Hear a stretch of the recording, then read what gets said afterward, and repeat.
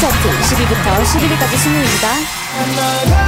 한국적인 감성을 가득 채운 독특한 R&B 디네티가 20위 19위는 호소력 짙은 목소리로 이별을 노래하는 MC 더 맥스의 어디에도.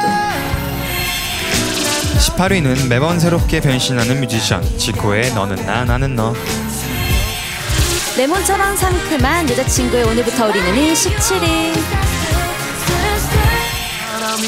봄하면 떠오르는 노래 1위. 16위는 버스커 버스커의 벚꽃 엔딩. 15위는 마음을 울리는 명품 voice 임창정의 또다시 사랑. 90년대 추억 소환.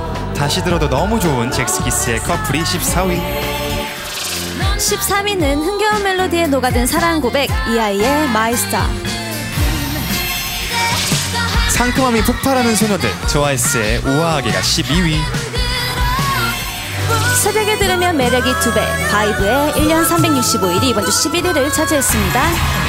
뮤직뱅크 K차트. K차트 10위부터 3위까지 순위입니다. 10위는 여전히 K차트를 달리는 여자친구의 시간을 달려서. 다이너마이트 같은 강렬한 무대를 선보이는 빅스가 9위 청순함부터 아련함까지 다 되는 러블리즈의 Destiny가 8위 7위는 말이 필요 없는 보컬리스트 걸그룹 마마무의 넌 is 뭔들 더 따뜻해진 리메이크곡 에디킴의 내 입술 따뜻한 커피처럼이 6위. 5위는 여심을 사르르 녹인 일곱 남자 블락비의 Toy 4위는 솔로들의 봄 캐럴은 바로 이 노래죠. 10cm의 봄이 좋냐?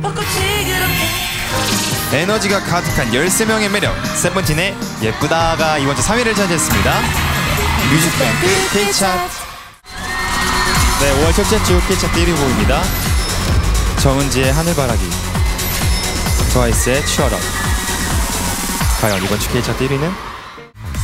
디지털 음원 점수, 시청자 선호 점수, 방송에서 점수, 음반 점수 그렇다면 과연 1위의 주인공은?